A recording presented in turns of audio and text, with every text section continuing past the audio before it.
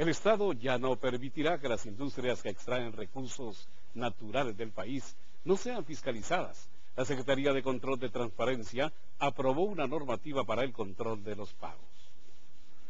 Una de las alianzas para el combate a la corrupción de la Secretaría de Control de la Transparencia permitió legalizar la fiscalización al pago de las industrias extractivas, aprobando la normativa de transparencia para esta actividad económica. Ello permitirá que el Estado verifique el cálculo y pago de regalías por la extracción de recursos naturales en el país. Se van a incluir también todo lo que las empresas pagan, impuestos, regalías, eh, impuestos específicos y aporte voluntario. El objetivo de la normativa es que las industrias no paguen lo que ellos calculan, sino que deben pagar con base a un estudio previo y consensuado.